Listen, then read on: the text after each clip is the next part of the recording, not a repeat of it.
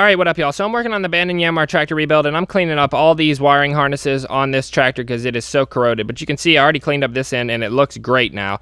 But basically, I have a trick for cleaning these up. Let's check out the corrosion. So you can see the corrosion in there. You can see how nasty it is. Yeah, not good contact at all. So the trick is you get a cup of white vinegar, put it in one cup with a tablespoon of salt in there, and then you get another cup, put some baking soda and water in there, and then we're just gonna soak this thing in here for a little while and then come back and neutralize it. So we'll be back. You saw the before, and we'll check out the after. All right, guys, so you can stop there, but I like to take it one step further. Right here, I got a solution of liquid tin.